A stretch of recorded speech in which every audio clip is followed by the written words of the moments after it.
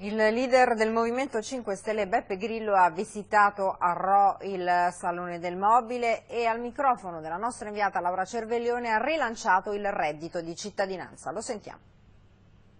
Siamo tutti piccoli imprenditori, figurati se noi non abbiamo come nostro programma la defiscalizzazione, togliere, togliere l'IRA, la protezione del Made in Italy vero, perché un sacco anche di imprenditori prendono i finanziamenti e poi vanno a produrre all'estero, questo noi vogliamo evitarlo, quindi non avremo la totalità degli impre piccoli imprenditori a vantaggio nostro, che saranno eh, nostri votanti, perché noi vogliamo le cose giuste. E tutelare questo tipo di lavoro? Assolutamente sì è la base, la colonna vertebrale della nostra economia e siamo schiacciati da un sistema fiscale che non dipende più da noi, ma dall'Europa, dove c'è dentro dei parametri che ti strangolano, quindi o usciamo di lì e dobbiamo prepararci che tanti lavori scompariranno, quindi milioni di persone saranno senza lavoro, nasceranno lavori nuovi, invenzioni di lavori nuovi, ecco, dal design all'ingegnere, come riprogettare le cose.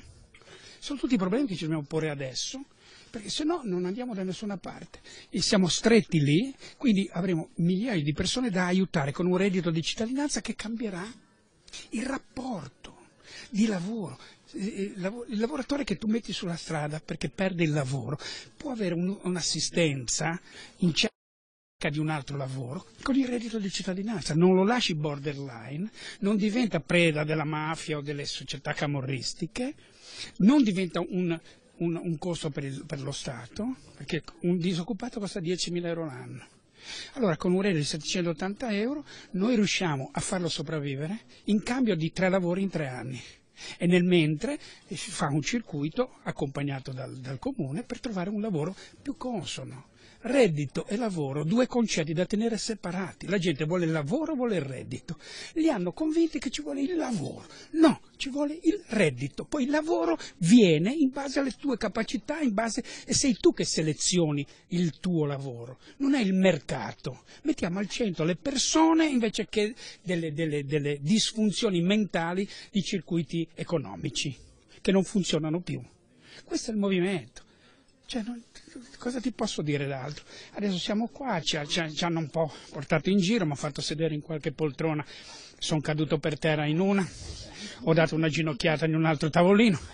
Cioè io sono ammaccato, però chiederò al mio avvocato se posso prendere qualche rimborso, eh, però la, questa è una realtà che c'è. Ma quindi il design non fa poltrone comode, come mai ha scelto no, di sedersi per terra? Poltrone, fa poltrone comode, mh, mm, ma mh, mm, in casa dei designer hanno quelle vecchie, rotte, cioè, sono quelle comodissime.